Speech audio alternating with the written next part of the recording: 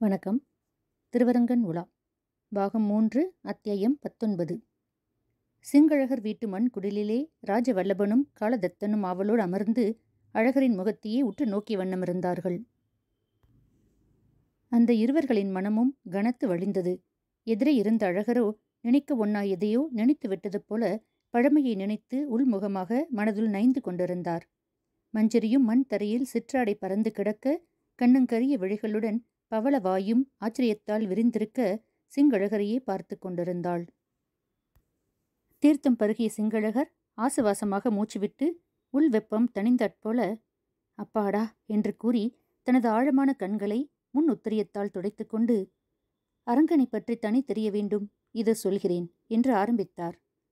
அவர் தமது உத்தண்டமான குரலில் சோகம் பளபளக்க மேலே சொல்லிக்கொண்டே போக இளைஞர்களின் கண்கள் முன்னே காட்சிகள் மீண்டும் விரிய ஆரம்பித்தன. அஞ்சனாத்ரி மலையின் அடிவாரத்திலுள்ள அகோரமான காட்டிலே குருகூர்தாசரும் அவரது மைத்துனரான வெள்ளிப்புத்தூர்தாசரும் உயிர் பிரிந்து கிடப்பதைக் கண்டு மிகுந்த வியாகுலத்துக்கு ஆட்பட்ட ஸ்ரீராமதாசர் அப்படியே உன்மத்தமானாற் போல உறைந்து கிடந்தார். நாழிகை ஏறியதும் மனதில் தேறிக்கொண்டு அரங்கனின் நினைவு கொண்டவராய் திடீரென்று எழுந்து சுற்றி வர பார்க்குங்காலையில் சங்குமலர் புதரிலே அடர்த்தியாக கொடிகள் சிக்கிக் கொண்டிருப்பதை பார்த்து இது நாம் இழுத்து கயிறு பண்ணிய கொடியல்லவோ என்று எண்ணி அந்த கொடிகள் சிக்கி இருக்கும் பகுதியை நோக்கி பாய்ந்து சென்றார். போக போக கொடிகளின் சிக்கலானது அவரையும் சேர்த்து சிடுக்கில் மாட்டி வைக்க பொறியில் அகப்பட்ட பிராணி போல் பல நிமிட நேரங்கள் தடுமாறி தத்தளித்து பின்னர் இடுப்பிலிருந்த கத்தியை எடுத்து அவற்றை சீவிக் கொண்டு உள்ளே செல்லலானார்.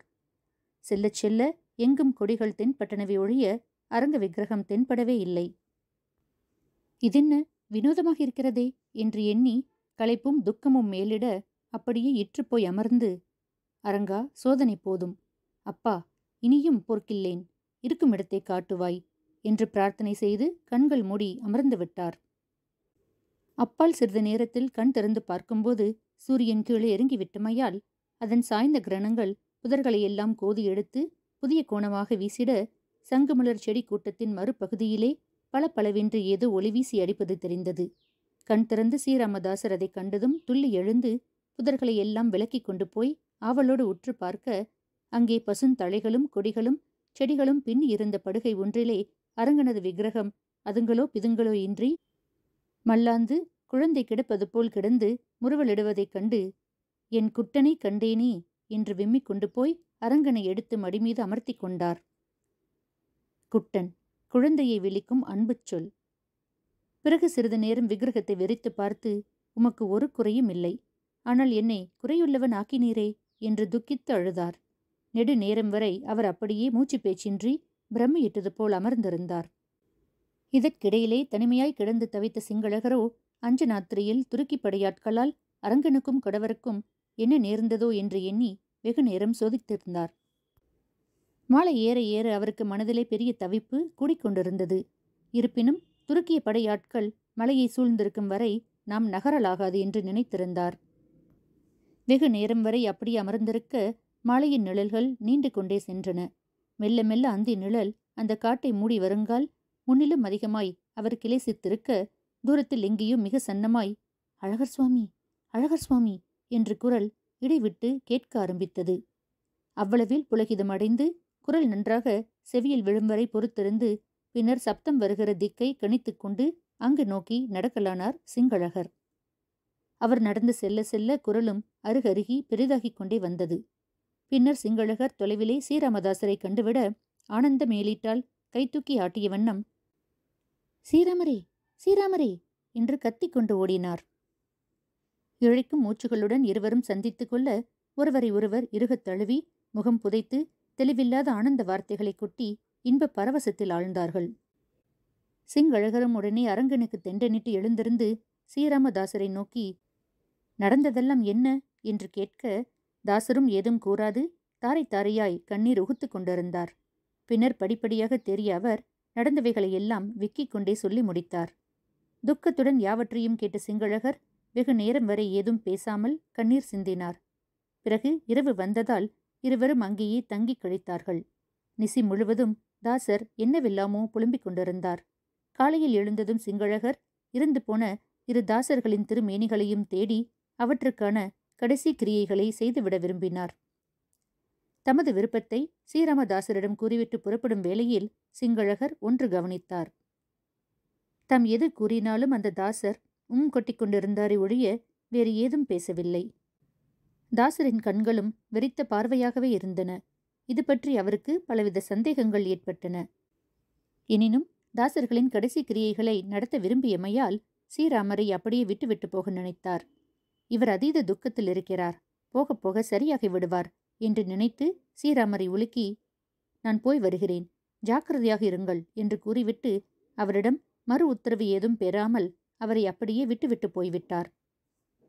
வெகு நேரம் அலைந்து நடுப்பகல் வரும் வேளையில் இறந்து போன தாசர்களின் திருமேனிகளை சிங்களழகர் கண்டு கொண்டார். அவர் மனத்தில் துக்கம் பொங்கி வெளிந்தது அரங்கனே அறுபதாக புறப்பட்டது. இப்போதும் வெறும் இரண்டாக அருங்கி நிற்கிறதே என்று வருத்தப்பட்டார். அப்பால் அந்த இரு திருமேனிகளையும் எட்டத்திலிருந்த ஒரு ஓடையின் படுகைக்கு எடுத்துச் சென்றார். அதன் மணலில் தமது கைகளால் குழி பறித்து திருமேனிகளை அவற்றுள் பள்ளிப்படுத்தி விழிசோர பிரார்த்தனைகள் செய்து பின்னர் மேனிகளை மண் அடர்த்தியால் மூடி வைத்தார். பின்னர் பழைய இடம் நோக்கி திரும்பலானார். அங்கு சென்று பார்த்தபோது ஸ்ரீராமதாசரையும் காணவில்லை அரங்கனையும் காணவில்லை. திடுக்கிட்டு சுற்றுமுற்றிலும் புகுந்து பார்த்தார். சீராமா சீராமா என்று குரல் கொடுத்தார். மாலை நேரம் வரை தேடியும் ஸ்ரீராமரை காணவே இல்லை. அப்போது எங்கும் கருகரு என்று இருட்டிக் கொண்டு வர கடைசியில் இப்படியும் ஒரு கதி வந்ததே என்று நினைத்து அன்று ரா பொழுதை அங்கேயே கழிக்க எண்ணி சோர்ந்து படுத்து விட்டார் மறுநாள் காலையில் எழுந்திருந்து பார்க்க இரு கால்களும் இயங்கவில்லை என்று தெரிந்து ஆச்சரியத்துடன் கால்களை நோக்கினார். மூட்டு பிரதேசம் வரை நீளம் பாரித்திருந்தது. அப்போதுதான் ஒன்று புலனாகியது. கடைசி கிரியைகளுக்காக புதர்களை ஊடுருவிக் கொண்டு போனபோது அங்கங்கே ஊசி குத்தினாற்போல் காலில் ஏதோ வழி தோன்றுவதை அறிந்திருந்தார். முள்செடிகள்தான் குத்துகின்றன என்று நினைத்திருந்தவருக்கு இப்போது கால்களை பார்க்கும்போது ஒரு பெரிய அதிர்ச்சியே ஏற்பட்டது. ஏதோ விஷப்பூச்சிகளோ ஜந்துக்களோ கால்களை தீண்டியிருக்க வேண்டும். அதனால்தான் கால்கள் நீளம் பாரித்து கட்டையாகிவிட்டன என்று எண்ணினார். இந்த நிலையில் எழுந்து முறையாக நடக்க முடியாது என்று தெரிந்தபோது அவரது அதிர்ச்சி பெருமடங்காகியது உதவி இல்லாமல் இனி போவது கஷ்டம் என்று தெரிந்ததால் சீரமதாசர் வருகிறாரா பார்ப்போம் என்று நினைத்து மற்றொரு பகல் பொழுதையும் ரா பொழுதையும் அங்கே கழித்தார். இரண்டாம் நாள் பொழுது புலர்ந்ததும் இனி ஸ்ரீராமருக்கு காத்திருப்பது சரியில்லை என்று தோன்றியது. காட்டை விட்டு உடனே வெளியேற வேண்டும். இல்லாவிடில் கொடிய விலங்குகளால் ஆபத்து ஏற்படும் என்று எண்ணிய அவர் தரையில் ஒரு பிராணி போல் தவழ்ந்து கொண்டே அந்த காட்டில் ஊடுருவி நடக்கலானார். பசியும் சோர்வும் மேலிட மூன்று நாட்கள் தவழ்ந்த பின் காடு முடிவடையாமல் போகவே வழி தவறவிட்டோமே என்று பரிதவிக்கலானார். நான்காம் நாள் காலையில் பசியும் தாகமும் வாட்டிவிட இனி ஒரு அங்குலமும் நகர்வது கடினம் என்ற நிலை ஏற்படும்போது செஞ்சு இனத்தைச் சேர்ந்த மலை வேடவர்கள் அவரை கண்டெடுக்க நேர்ந்தது. அவர்கள் அவருக்கு நீரும் தேனும் பழங்களும் கொடுத்து போஷித்து மெல்ல மெல்ல அவர் விருத்தாத்தங்களை கேட்டு தெரிந்து கொண்டார்கள். பின்னர் அவரை தோளால் செய்த ஒரு டோலாவில் ஏற்றி வைத்து காட்டை கடக்க பண்ணி நாட்டுப்புறத்துக்கு அழைத்துப் போய் அங்கே ராஜபாட்டை அருகில் அவரை இறக்கிவிட்டார்கள். வேடவர்களிடம் நன்றி பிரதிபலிக்க வெடிபெற்ற சிங்களகரும் பின்னர் போக்கு வண்டிகள் பலவற்றில் ஏறி கடைசியாக காஞ்சிபுர கஷேத்திரத்தை சென்றடைந்தார். பூரணமாக மரத்து போன இரு கால்களுக்கும் அங்கே ராஜ வைத்தியம் செய்து கொண்டு ஓரளவு கால்களில் உணர்வுகளை பெற்றவராய் அந்த காஞ்சிபுர நகரத்திலேயே வசித்து வரலானார். அவர் பதினெட்டு ஆண்டுகள் இந்த காஞ்சி நகரத்தில் வாழ்ந்து விட்டாரப்பா. அவரது ஆசைகளும் எண்ணங்களும் மனோரதங்களும் இந்த பதினெட்டு ஆண்டுகளில் சிறிது சிறிதாக நைந்து மறைந்து விட்டன அப்பா கேவலம் ஒரு நடைப்பெணும் போல் வாழுகிறாரப்பா என்று சொல்லி முட்ட முட்ட கண்ணீர் பெருக்கி தம் கதை முழுவதையும் சொல்லி முடித்தார் சிங்களகர். இளைஞர்கள் இருவரும் கட்சிலைகள் போல் சமைந்து கிடந்தார்கள். ஏதோ ஒரு பெரும் இதிகாசம் முழுவதையும் கேட்டது போலவும் கடைசியில் அதன் சோக முடிவை கேட்டு துக்கித்து கிடப்பவர்கள் போலவும் இருவரும் கிடந்தார்கள். மஞ்சரியும் தனது குனிந்த தலையை நிமிர்த்தாமலே இருந்தாள். இறுகிப்போன ஒரு துக்கம் அங்கே கனமாக சூழ்ந்திருந்தது. அப்பால் கால் நாளிகை யாவரும் மௌனமாய் இருந்த பிறகு சிங்களகர் தம்மை ஓரளவு தேற்றிக்கொண்டு இளைஞர்களை நிமிர்ந்து பார்த்து பிள்ளைகாள் என்று அழைத்தார். இளைஞர்கள் இருவரும் திடுக்கிட்டு நினைவு வந்தவர்களாய் அவரை ஏறிட்டு பார்த்தார்கள். பிள்ளைகள் ஒரு சோக காவியத்தை இதுவரை கேட்டிருக்கிறீர்கள். உங்கள் நெஞ்சங்கள் எல்லாம் வெகுவாக கனக்குமி. நீங்கள் ஆசுவாசப்பட்டு இங்கே இந்த அடியவனின் குடிலில் இன்று முழுவதும் தங்கியிருக்க வேண்டும். கனம் சிறிதளவு குறைந்தவுடன் அடியனுடன் மேலும் உரையாடிவிட்டுச் செல்ல வேண்டும் என்று கைகூப்பி கூறினார். இரு இளைஞர்களும் அவர் சொல்வதற்கு மறுப்பு சொல்லாமல் மௌனமாக இருந்து விட்டார்கள். அவ்வளவில் சிங்களகர் மெல்ல எழுந்து நொண்டி நொண்டி நடந்து கொண்டு புழக்கடை நந்தவனத்துக்கு சென்று விட்டார். இளைஞர் இருவரும் கூடத்திலேயே அமர்ந்திருக்க அவர்கள் செவிகளில் திடீரென்று ஒரு விசும்பல் ஒலி கேட்டது. மஞ்சரிதான் விசும்பிக் கொண்டிருந்தாள். அத்தியாயம் இருபது. மஞ்சரியிடமிருந்து விசும்பல் சத்தம் கேட்டு திடுக்கிட்ட இளைஞர்கள் அவளை திரும்பி பார்த்தார்கள். மஞ்சரி உனக்கு என்ன நேர்ந்தது ஏன் விசும்புகிறாய்? என்று ஆதுரத்துடன் காலதத்தன் வினவ மூக்கு உறிஞ்சி கண் கசக்கி வாய் பொத்திய மஞ்சரி சிறிது நேரம் ஆற்றமையுடன் இருந்துவிட்டு பின்னர் தத்தனை நோக்கி பேசத் தொடங்கினாள். ஐயா இந்த நாட்டிலே எத்தகைய அமளித்தும்மளிகள் நடந்தேறிவிட்டன? அகிலத்து அரசர்கள் எல்லாம் வந்து பள்ளிக்கட்டின் கீழ் தவமிருக்கும்படியான சம்மந்தை பெற நம் அரங்கனுக்கு கூட எத்தகைய துக்கங்கள் நேர்ந்துவிட்டன? அவருக்கே அவை நேர்ந்ததென்றால் சாமானிய ஜனங்களுக்கு நேர்ந்ததை சொல்ல முடியாதே? ஒரு நாட்டின் வாழ்க்கையையே சிறை செய்து விட்டார்களே சுல்தானியர்கள். இப்படி நடந்ததால் அன்றோ என் தாய் தந்தையரை ஒருங்கி நான் இழக்க நேர்ந்தது. நான் இழந்தது மட்டுமல்ல ஒவ்வொரு குடும்பமும் ஆள் வீடு பூமி என்று எதையாவது எழுந்துவிட்டு நிற்கிறதே. அரங்கனும் தம் திருவரங்க திருவை எழுந்து நிற்கிறாரே. ஒரு நாடே இப்படி அனாதையாகிவிட்டதே. இதை கேட்பார் இல்லையே கண்டிப்பார் இல்லையே. ஒரு கால தோஷத்தில் நாட்டில் எல்லோரும் பெண்களாகிவிட்டார்களே வீரமும் தைரியமும் மனோதிடமும் ஏட்டிலே வெறும் எழுத்துக்களாகிவிட்டனவே. அதை நினைத்தால்தான் துக்கம் பொங்கி வருகிறது. வேதனை தகைந்து வருகிறது என்று படபடப்புடன் கூறினாள். அவள் பேசியதை கேட்டு தத்தன் வாய் அடைத்து நின்றான். ஆனால் அதே நேரத்தில் ராஜவல்லபன் உள்ளத்தில் ஒரு எரிமலை கொழுந்து விட ஆரம்பித்தது. அவன் கண்கள் உணர்ச்சி வசமாகின. உதடுகள் பிளு பிளு என்று துடித்தன. மஞ்சரி என்றான் அவன். நீ சொல்வதெல்லாம் என் மனதில் அம்பு போல் தைக்கிறது. அவை என்னை வாட்டி வதைக்கிறது. என்னைப்போல் இளைஞர்கள் வாழவிருந்தது ஒரு பெரும் தப்பிதம். மற்றவர்கள் எப்படியோ எனக்கு தெரியாது. நாங்கள் இப்போது பெரும் லட்சியத்தை மனதில் கொண்டு புறப்பட்டிருக்கிறோம். அதை நிறைவேற்றி வைக்கும் வரை நாங்கள் உறங்க மாட்டோம். இது சத்தியம் என்ற ஆவேசம் வந்தவன் போல் கூற சுவரிலிருந்த பள்ளி ஒன்று பலமுறை கொட்டியது. பிறகு அவன் இடுப்பிலிருந்து பளபளக்கும் குறுக்கத்தி ஒன்றை நறுக்கென்று எடுத்து அதை மஞ்சரி முன்னே வைத்து மஞ்சரி இந்த கத்தியை உன் கையால் தொட்டுக் கொடு. அப்படி கொடுத்தால் இது இடுப்பிலே உறங்கிக் கொண்டிருந்தாலும் நெஞ்சிலே குத்திக் கொண்டே இருக்கும். உன் வெதும்பிய வார்த்தைகள் என் உள்ளத்தில் உழைத்துக் கொண்டே இருக்கும். உறங்கும் என் நினைவுகளை ஓச்சிவிட்டதாகவும் இருக்கும் என்று ஒரே தீவிரமாக கூறினான். அவன் கூறிய வார்த்தைகளில் ஆவேசத்தையும் அழுத்தத்தையும் கண்டு மஞ்சரியின் கண்கள் பாஷ்பங்களை சொரிந்தன. முகத்தில் அழுகை கவிழ்ந்திருந்தாலும் உதட்டில் முறுவல் முகிழ்ந்து வர வல்லபனை நோக்கி அவள் நடந்து வந்து அவன் கையிலே குறுங்கத்தியை எடுத்துக் கொடுத்து ஆஹா இப்போது என் மனம் பரவசமாகிறதே எனக்கு புதிய உற்சாகம் பிரவேசிக்கிறதே என்று ஆவேசத்துடன் கூறினாள். அதே நேரத்தில் அங்கு நடந்ததையெல்லாம் கேட்டுக்கொண்டு உள்ளே வேகமாக வந்த சிங்களழகர் ஆஹா ஆஹா பதினெட்டு ஆண்டுகளாக கேளாத வார்த்தைகளை இன்று கேட்டுவிட்டேன்.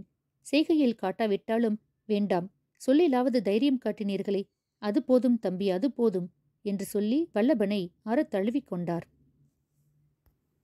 அன்று இரவு அங்கே உறங்கிவிட்டு காலையில் எழுந்து இரு இளைஞர்களும் தங்கள் சத்திரத்துக்கு மீளவும் சென்றார்கள். வெளியே சென்றால் என்ன ஆபத்து ஏற்படுமோ? என்று எண்ணி இருவரும் சத்திரத்துக்குள்ளேயே இருந்துவிட்டு மதியத்துக்கு மேல் சிங்களகரின் குடிலுக்கு மீளவும் சென்றார்கள். அவர்கள் போன சமயம் ராஜசேவகர்கள் மூவர் நின்று கொண்டு சிங்களகருடன் கோபமாக வார்த்தை சொல்லிக் கொண்டிருந்தார்கள். இதைக் கண்டு இளைஞர்கள் இருவரும் புறம்பே ஒதுங்கி நிற்க சிறிது நேரத்தில் அந்த சேவகர்கள் மூவரும் குடலை விட்டு வெளியே வந்து வேகமாக போய் விட்டார்கள் அப்பால் இளைஞர்கள் உள்ளே போனதும் சிங்களகர் அவர்களை வரவேற்று உபசரித்து பிள்ளைகள் உங்களைத்தான் எதிர்பார்த்திருக்கிறேன் என்று கூறினார். இளைஞர்கள் இருவரும் தரையில் அமர்ந்து கொள்ள வல்லபன் சிங்களகரை நோக்கி இந்த சேவகர்கள் யார் சுவாமி? எதற்கு வந்தார்கள்? என்று கேட்டான். இவர்கள் சம்புவராயரின் ராஜபடைகள். இறைவாங்க வந்திருக்கிறார்கள். இப்போது ஊரிலே எதை எடுத்தாலும் இறை விதித்து விடுகிறார்கள். ராஜரீகம் மிகவும் மோசமாக நடக்கிறதே உங்களுக்கு தெரியாதா? என்று கேட்டார் சிங்களகர். எதுவும் தெரியாது சுவாமி என்றான் வல்லபன். இந்த சம்புவராயர் ராஜ்யம் காலம் காலமாய் தர்மத்தில் நின்று வந்திருக்கிறது. ஆனால் இப்போது வர வர ராஜ்யத்திலே அநீதிகள் நிறைய தலை கட்டத் தொடங்கிவிட்டன. அவைகளை பார்த்தும் அரசர் வாழவிருக்கிறார். அவருக்கு ஏன் இப்படி புத்தி மாறிப்போனது என்று தெரியவில்லை. குடிஜனங்கள் இதைக் கண்டு ஆச்சரியப்படுகிறார்கள் என்றார் சிங்களகர். சுவாமி என்றான் வல்லபன் மதுரை சுல்தானுக்கு இந்த சம்புவராயர் கப்பம் கட்டுபவர்தானே? என்று கேட்டான். நன்றாக கேட்டாய் கேள்வி. கப்பம் கட்டுவதால் தானே அவர் நம் ராஜ்யத்தை காப்பாற்றிக் கொள்ள முடிந்தது? இல்லாவிடில் என்னைய சோழ பாண்டியர்களுக்கு நடந்திருக்குமே அந்த கதி இவருக்கும் நேர்ந்திருக்கும். சம்புவராயர்கள் தந்திரசாலிகள் முதன் முதல் சுல்தானியர்கள் படையெடுத்து வந்தபோது அவர்களுக்கு அடிப்பணிந்து வழிவிட்டார்கள். சிற்றரசர்களாக இருந்து கப்பம் கட்டுவதாக வாக்களித்தார்கள். செங்கல்பட்டு வட ஆற்காடு தென் ஆற்காடு சிதம்பரம் கடலூர் தாலுக்கா நீங்களாக ஆகியவற்றை உள்ளடக்கிய பூமியே சம்புவராய ராஜ்யம். இதனால்தான் அவர்கள் ராஜ்யம் பிழைத்தது. அவர்கள் ஆட்சி இன்னமும் நடந்து வருகிறது என்றார் சிங்கழகர். தத்தன் இடைமறித்து சுவாமி இந்த சம்புவராயர்கள் நமது வேதாந்த சமயங்களை சேர்ந்தவர்களாயிற்றே. இவர்கள் மதுரை சுல்தானை எதிர்த்து போரிட்டு இந்த நாடுகளை மீட்கக்கூடாதோ என்று கேட்டார். அப்பா காலதத்தா நல்ல கேள்வி கேட்டாயே. இந்த சுல்தானியர்களை விரட்டுவதற்கான தைரியம் இவர்களிடம் ஏது? போதிய படைகளும் ஏது? இப்போது கூட இந்த சம்புவராயர்கள் ஆட்சி நடத்துகிறார்களே எப்படி நடத்துகிறார்கள் என்று நினைக்கிறாய்? சுல்தானியர்களுக்கு பயந்து நடுங்கிக் கொண்டு ஆட்சியை நடத்தி வருகிறார்கள். இது உனக்கு தெரியாதா? என்றார் சிங்கழகர் தெரியாது சுவாமி. நாங்கள் முதன் முதல் காஞ்சிபுரத்தில் நுழைந்தபோது ஜனங்கள் நிச்சிந்தையாய் போய் வருவதை பார்த்தோம். கோவிலுக்கு திருமஞ்சன குடம் போவதை பார்த்தோம். இவையெல்லாம் பார்த்தால் இங்கே இந்த சம்புவராயர்கள் பூரணமான சுதந்திரமுடன் ராஜ்யம் நடத்தி வருகிறார்கள் என்று நினைத்தோம் என்றான் வல்லபன். நல்லது பிள்ளாய் நீ பார்த்தது எல்லாம் மேல்பூச்சு உள்ளே தோண்டி பார்த்தால் அவ்வளவும் அனர்த்தங்கள். சுல்தானியர்கள் இவர்களை அவ்வப்போது பணம் கேட்டுக்கொண்டே இருக்கிறார்கள். இவர்களும் ஜனங்களை இறை கேட்டுக்கொண்டே இருக்கிறார்கள். இதனால் ஜனங்கள் நைந்து வருந்துகிறார்கள். இங்கே கோவிலில் பூஜை நடப்பதெல்லாம் காலையில் ஒரு நாழிகை மாலையில் ஒரு நாழிகை. மற்ற நேரமெல்லாம் அவை அடைத்தே கிடக்க வேண்டும். இந்த பூஜைகள் கூட சுல்தானியருக்கு தெரியாமல் நடந்து வருகிறது. தெரிந்தால் விபரீதங்கள் நேர்ந்துவிடும். இவ்வளவு லட்சணத்தில்தான் சம்புவராயரின் ஆட்சி இங்கு நடந்து வருகிறது. இவர்களால் மதுரையை எதிர்த்து என்றுமே போராட முடியாது என்பது என் துணிவு. இங்கு இந்த ராஜ்யத்தில் ஒரே ஒரு நன்மை. எங்களைப் போன்ற திக்கற்றவர்களுக்கு இது ஒரு அஞ்சினான் புகலிடமாக இருந்து வருகிறது. அவ்வளவேதான் என்று கூறினார். பின்னர் அவர் சம்பவராயர் ஆட்சி எப்படி படிப்படியாக இப்போது க்ஷீணித்து வருகிறது என்பதையும் நாட்டில் எப்படி அக்கிரமங்கள் பெருகி வருகின்றன என்பதையும் விரிவாக கூறினார். நாடு போகிற நிலையை பார்த்தால் கடவுள்தான் ஏதாவது கண் திறந்து செய்ய வேண்டும் என்பதையும் கூறினார். அவர் சொல்வதையெல்லாம் மிக உன்னிப்புடன் இரு இளைஞர்களும் கேட்டுக்கொண்டிருந்தார்கள் அவர்களுக்கு எதிலும் அப்போது ஒரு சூன்யமே தோன்றிக் கொண்டிருந்தது. அதை அறிந்து கொண்ட சிங்களகர் பிள்ளைகள் கலங்க வேண்டாம். அது நடக்க வேண்டிய வேலைகளில் தானாகவே நடக்கும். நாம் கவலைப்பட வேண்டுவதில்லை. இப்போது பாருங்கள் நீங்கள் இருவரும் அரங்கனை தேடி இங்கே வந்திருக்கிறீர்கள் என்பதே ஒரு நல்ல துவக்கத்தின் அறிகுறி. இதுவே ஒரு பெரும் போராட்டத்துக்கு வழி வகுத்தாலும் வகுக்கும். நான் சொல்வதை நம்புங்கள். நம்பிக்கை வையுங்கள். நீங்கள் இருவரும் இங்கே வந்திருப்பதே ஒரு சுபசகனம் என்றார் சிங்களகர் அவர் சொல்வது கேட்டு தெய்வ வாக்கு என மனதில் தெளிவு பெற்ற வல்லபன் அவரை நோக்கி சுவாமி தாங்கள் கூறும் மொழிகளால் எங்களது தவிப்புகளும் சந்தேகங்களும் நீங்கி வருகின்றன. தாங்கள் கூறுவது போல் அரங்கனை தேடி கண்டுபிடித்தால் அதுவே பின்னர் ஒரு போராட்டத்துக்கு வழி வகுத்தாலும் வகுக்கலாம். பதினெட்டு ஆண்டுகளுக்கு பின் உங்களை தேடி நாங்கள் கண்டுபிடித்ததே அதற்கான சுபசூகமாகவும் இருக்கலாம். இப்போது சொல்லுங்கள். அரங்கன் அதன் பிறகு என்ன ஆனார்? அவரை நீங்கள் எங்கேயாவது காண நேர்ந்ததா? அரங்கனை எடுத்துச் சென்ற ஸ்ரீராமதாசர் என்ன ஆனார்? அவரையும் நீங்கள் பார்த்தீர்களா? என்று சரமாரியாக கேட்டான் வல்லபன். அதற்கு சிங்களகர் அப்பா வல்லபா நான் உனக்கு சொல்லி நிறுத்தினேனே. அதை விட்டு ஒரு அங்குலம் கூட எனக்கு கதை தெரியாது. சந்திரகிரி காட்டிலிருந்து பல்லாண்டுகளுக்கு முன் தப்பித்து வந்தவன் நான். அதற்கு பிறகு எவ்வளவோ முயற்சி செய்தும் ஸ்ரீராமதாசரையும் கண்டுபிடிக்க முடியவில்லை திருவரங்கனையும் கண்டுபிடிக்க முடியவில்லை. எத்தனையோ பேர்களிடம் விசாரித்து அனுப்பிவிட்டேன். யாரும் ஸ்ரீராமதாசரை பற்றியாவது அரங்கனை பற்றியாவது ஒரு செய்தியையும் கொணரவில்லை. இருக்கும் ஆத்திரத்தில் நானே சென்று சந்திரகிரி காட்டில் தேட வேண்டும் என்று நினைத்தது உண்டு. ஆனால் என் கால்கள் சரியில்லாத நிலைமையில் எப்படி சென்று தேடுவேன்? ஆகவே குண்டுக்குள் அடைப்பட்டவன் போல சிக்குண்டு ஏதும் செய்ய முடியாமல் இத்தனை நாள் இருந்து விட்டேன். இப்போது பல வருஷங்களாய் ஒரு அசக்தி என் மீது ஆவிர்வதித்து வருகிறது. என் ஆசைகளும் லட்சியங்களும் மெல்ல மெல்ல நைந்து வரத் தொடங்கிவிட்டன. இத்தனை ஆண்டுகளுக்கு பிறகு அரங்கன் இனி கிடைக்கவா போகிறான் என்ற எண்ணமும் மனதிலே வளரத் தொடங்கிவிட்டது. இந்த நிலையில் நீங்கள் வந்ததால்தான் என் பழைய உணர்ச்சிகள் மீளவும் கொப்பளித்து எழுந்துள்ளன.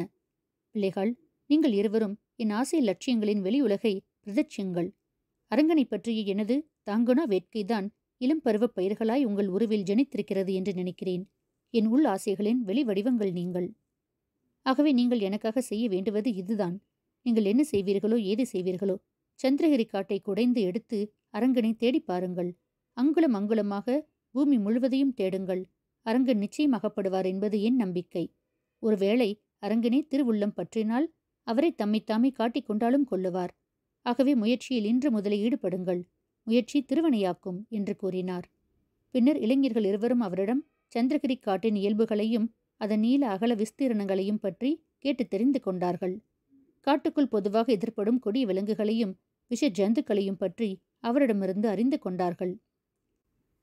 காட்டில் வேடுவ ஜனங்கள் எந்த பகுதியில் இருக்கிறார்கள் அவர்களிடம் என்னென்ன உதவிகள் பெறலாம் என்பதையும் கேட்டு தெரிந்து கொண்டார்கள். சிங்களகரிடமிருந்து ஒரு பூரணமான அறிவை பெற்ற பிறகு இளைஞர்கள் இருவரும் மறுநாளே சந்திரகிரியை நோக்கி புறப்பட சித்தமானார்கள். அத்தியாயம் பத்தொன்பது இருபது முடிவடைந்தது. மீண்டும் அடுத்த வீடியோவில் சந்திப்போம். நன்றி வணக்கம்.